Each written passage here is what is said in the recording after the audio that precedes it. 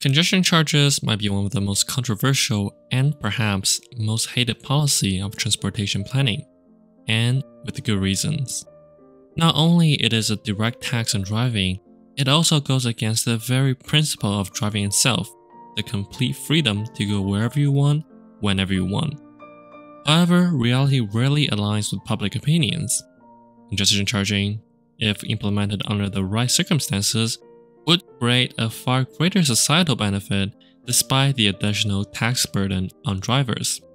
You, dear viewer, might have some very strong opinion about congestion pricing, but no matter which side of the discourse you are on, we can all agree on one thing. Traffic is bad, and we should reduce it as much as possible.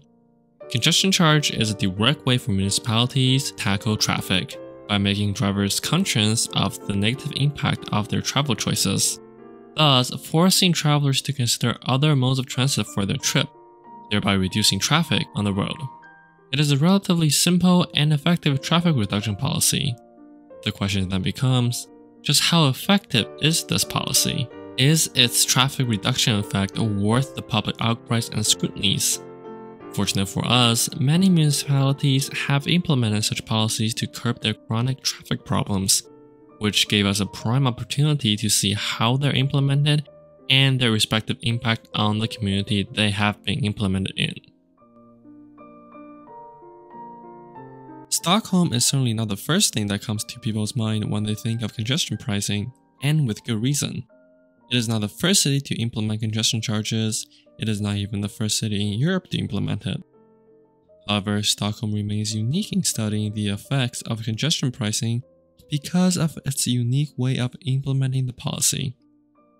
The temporary trial of congestion charges first started in 2006. Its pricing structure is based on the time of day. The cost is higher during weekday rush hours and is almost completely non-existent during off-peak hours.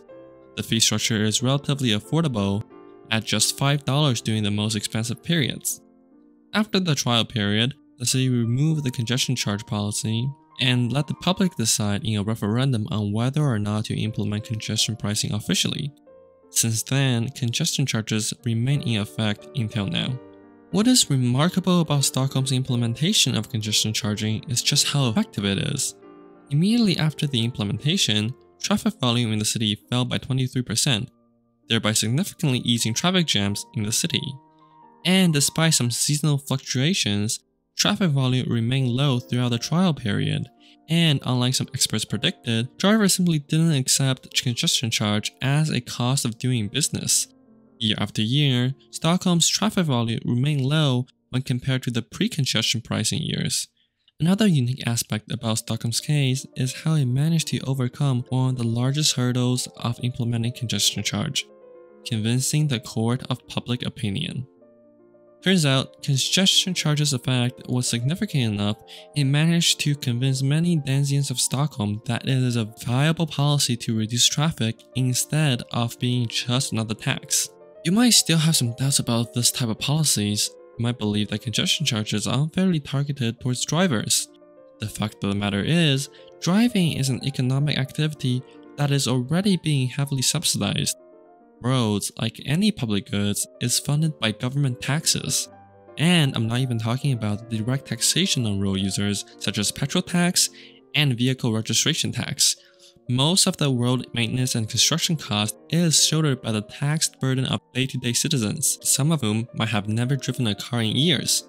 In short, congestion charges isn't a new special tax on drivers, as they themselves receive an extraordinary amount of financial privileges from our governments already. Ironically, because of the time-saving benefits of traveling on traffic-free roads, congestion charges have even shown to improve the economic prospects of road users.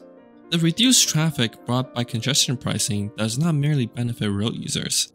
Significant social benefits were observed in cities that have established congestion charges. In London, for example, the congestion pricing brought down daily CO2 and air polluting emission significantly, which in turn reduced the rate of asthma and respiratory illnesses in children, and thereby reducing socio-economic inequality in the city.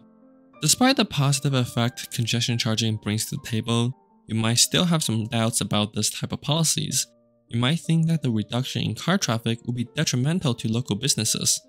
While this might be true for businesses located in car-oriented plazas or next to sprawling roads, it is simply not the case in downtown areas.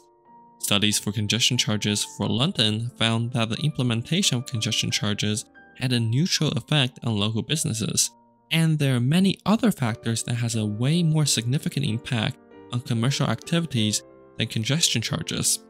Now, while many common criticism of congestion charges are nonsensical, there are some legitimate concerns towards such policies. The biggest of which is the question of how revenue should be spent. The goal of congestion charges isn't to generate revenue for the government, rather its goal is to shift the travel habits of road users. However, since congestion charge artificially suppresses road usage, drivers must therefore find other means of travel for their trips. And for most parts of the world, that means using public transit.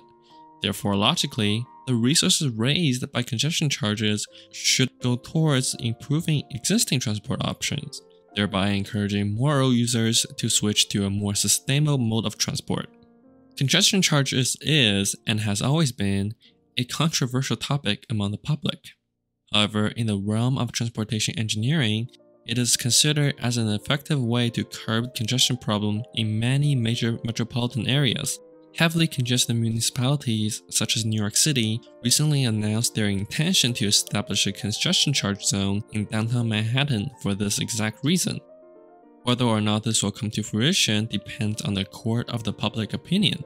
However, their studies have shown that the societal benefit from congestion charging will far exceed the tax burden on car users. The fact of the matter is, these policies have been proven time and time again to provide objective good to the cities they have been implemented in.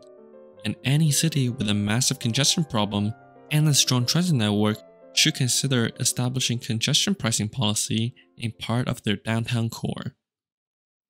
Hey folks, thanks for watching yet another video. If you have enjoyed, please leave a like and subscribe. This is the Transportation Channel, and I will see you next time.